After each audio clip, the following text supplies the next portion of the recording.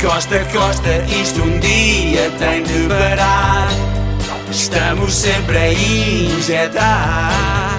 Podia ser que eu nem me importasse.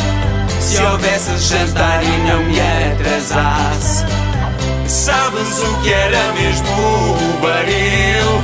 Um BMW e 500 mil. Privatiza, Isto só dá prejuízo.